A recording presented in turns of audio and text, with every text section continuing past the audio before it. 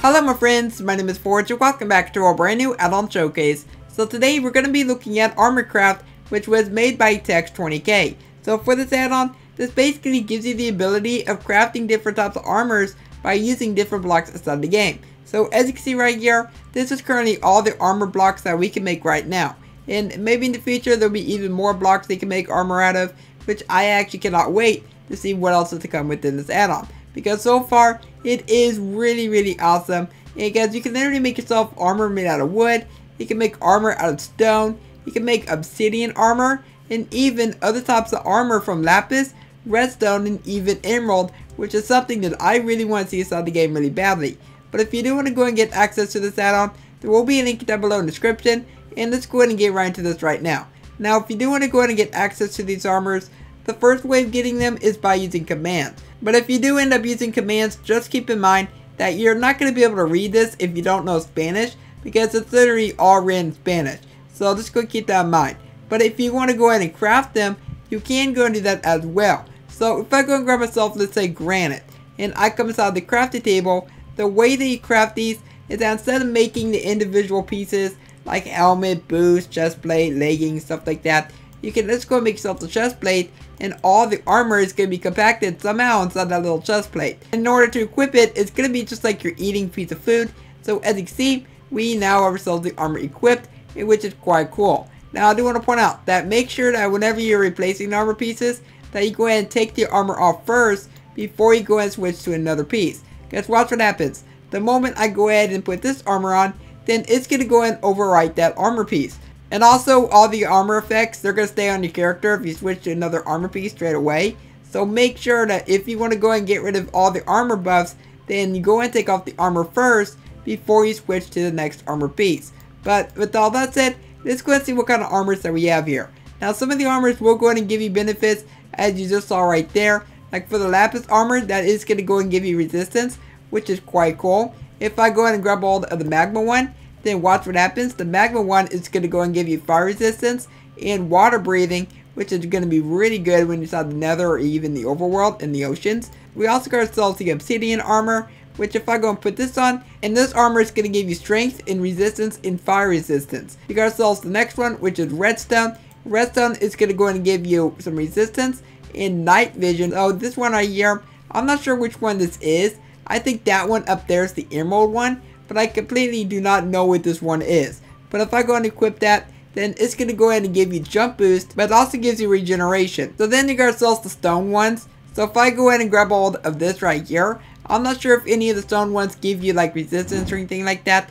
So we'll find out, and apparently it does not. And I just realized, I'm wearing this armor, and it makes it look like I'm covered with bird poop. Okay, do not even ask. It looks like cobblestone does give you resistance. We're gonna go and try out these stone bricks really quickly. So that gives you resistance as well. So I think it might just be like the granite, the andesite, and the diorite that do not give you any buffs. And the wooden sets do not give you any buffs at all. But while they don't give you benefits, they do look really cool. And I like them quite a bit. So we got ourselves the other ones, which we got ourselves coral. Now if I go ahead and take off this armor, I'm going to go ahead and put on the coral. Now the coral one is going to go ahead and give you night vision and as well as water breathing. And also, the armor looks pretty cool as well. And quartz will go ahead and give you resistance, which is quite good. Let's go ahead and look at the other one, which we got ourselves. I think this might be chiseled. So I'm going to go ahead and put this on. So that also gives you resistance as well. So we got ourselves the next one, which I think this one might be emerald. So let's go ahead and put this on. So it only gives you resistance. I think the emerald one should give you Hero of the Village. I think that's what it should be. Because when you think of emeralds, usually think of Hero of the Village or trading stuff like that. So then we got ourselves the other one, which we got ourselves Cacti. Now, the Cacti armor, I have a feeling that this one would hurt quite a bit. But let's go ahead and put this on. And what does it give you? It gives you resistance. Alright, um, you know, it looks like it would be very painful to wear cactus top armor like this. Let's go and get the leaf one. And the leaf one gives you absolutely nothing. We got ourselves the next set, which we got ourselves the grass. So if I go ahead and put that on, that gives you absolutely nothing. But you know what? I like this armor a lot. Kinda looks like I'm wearing green air to be honest. The prismarine. Also, whenever you go ahead and use uh, like an armor stand on one of these armor pieces, then it's going to go ahead and switch between the two armor pieces, which is pretty cool. But we're going to go and put this on, and this will go ahead and give you resistance. this will give you water breathing and night vision. We got ourselves the sandstone variants. So it looks like the sandstone variants, they do not give you anything at all, which is quite upsetting. But now we're on to the special armor pieces, which I have no idea on how to craft these by the way. I think it's going to be like on the download site somewhere. So we got ourselves the first one, which is going to be the Ocelot armor. So if I go ahead and grab this, I'm going to go ahead and equip this really quickly. Now this one will go ahead and give you speed and it's actually quite fast as well. So this will be really good if you're wanting to run away from mobs or something like that. Or if you just have like a bunch of endermen chasing you. Or maybe like a bunch of zombies. But let's go ahead and look at the next one. Which is going to be the polar bear armor. So I'm going to go and put this on. And let's go equip it. I like the fact that it actually comes up your eyes. And it makes it actually look like you're wearing an actual polar bear skin. You get yourself strength 4. And you get resistance 2. We're now wearing the chicken skin, and this will give you slow falling too.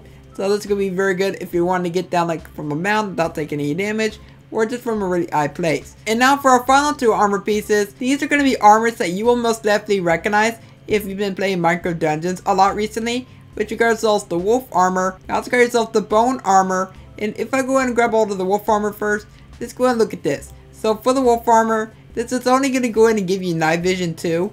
Which I think that this armor should at least give you maybe like some strength, something like that. I think it would be quite good.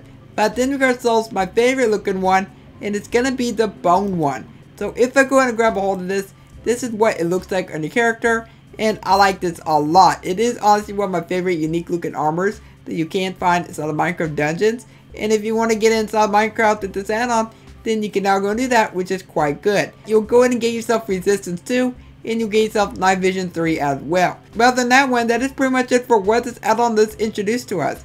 And so far, I think that the creators done a really great job at making all these armor pieces inside the game. And hopefully in the future, the, the creator will end up making even more updates for this add-on with even more armors that you can go and craft. I do want to hear your thoughts down below in the comments or what you think of this. And if you enjoyed today's video, then let me know by leaving a like on it and subscribe so you never miss an upload. For now, I hope you have a logical day, and I will catch you next time. Bye.